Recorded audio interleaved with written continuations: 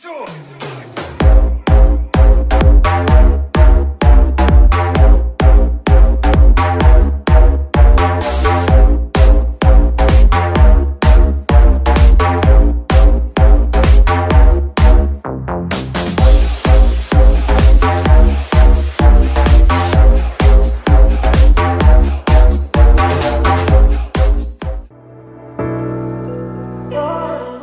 Varian baru Mitsubishi Xpander Cross sudah meluncur siang lalu di Jakarta Selasa 12 November 2019. PT Mitsubishi Motor Kerama Yuda Sales Indonesia bakal memasarkan Xpander Cross dalam tiga varian yakni Sport Manual Transmission, Sport Automatic Transmission, dan Ultimate Automatic Transmission.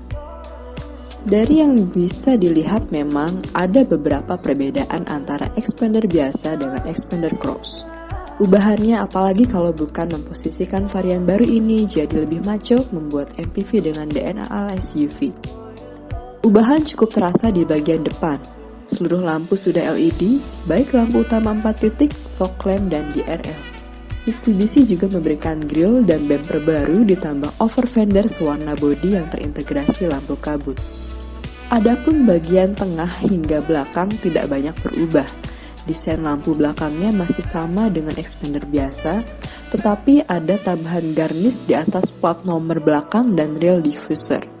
Juga ada tambahan side skirt berkarakter SUV dan roof rail. Ubahan lainnya dan yang paling signifikan adalah bekalan pelek alloy palang 5 baru dimensi 17 inch dengan ban yang lebih tebal Penggunaan ban dan pelek baru ini membuat Expander crossover lebih tinggi 20 mm ketimbang Expander biasa. Ground clearance ini diklaim menjadikan Expander Cross paling tinggi baik antara MPV kompetitor maupun low SUV merek lain. Bagian dalamnya akan ada konfigurasi warna biru, hitam, dan coklat tua, dengan lapisan kulit pada jok untuk varian teratas. Khusus varian tertinggi nantinya bakal ditambahkan sentuhan kemewahan, jok kulit dan kaca film Vicol. Sementara dua varian di bawahnya tetap mengandalkan kaca film Konica Minolta dan jok fabrik. Ubahan lainnya yaitu suspensi baru yang sengaja dikembangkan khusus untuk varian ini. Bantingannya lebih kaku, tetapi level kenyamanannya masih mampu terjaga dengan apik.